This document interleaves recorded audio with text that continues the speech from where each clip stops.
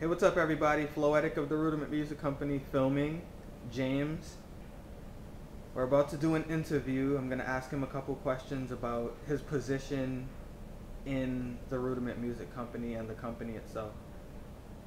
Uh, so, are you ready, James? Mm-hmm. All right. Here we go. Question number one What is your position for Rudament the producer? Uh, I work as his assistant engineer. Okay. And you're enjoying that position? Yeah, very much so. There's a lot to learn in that position. yeah. Um, all right. Next question. Question number two. How do you feel your personal strengths benefit the Rudament Music Company? Um. Okay. no, um, I'm uh, I'm a very jolly, energetic person, so uh, people are getting tired out, I'll be like, yeah, let's go, let's Mhm. it, let's record stuff. And I'm, I don't know, I love music, so I want to learn as much as I can while I'm here. So Mm-hmm. I'm, I'm eager to get stuff done. Yep. And you record yourself, right? Yeah. Good to know. Good to know. Question number three. How is Rudament the producer helping you to accomplish your goal in music, Oh God, he's or just your goals overall?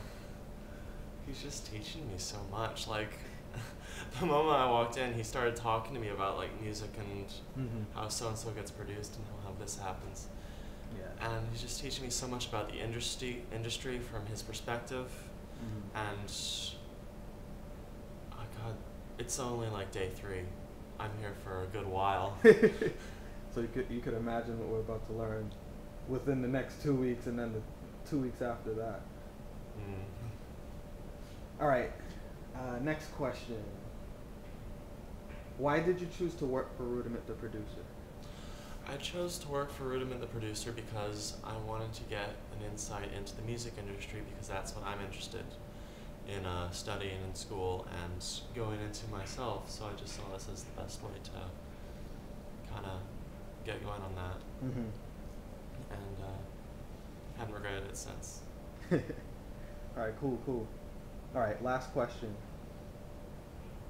What would you like to accomplish before you leave? I would like to partake in a recording, a professional recording. Okay. Who knows? Maybe we could record together one day. Oh, that would be fantastic too. Yeah, that'd be a good goal. That's a good goal. I'll take that one. All right. That's actually one of my goals as well. But um, you know, you guys stay tuned. Uh, I have some more interviews on the way. So, uh, James, I will see you later. And happy New Year, everybody. Happy New Year.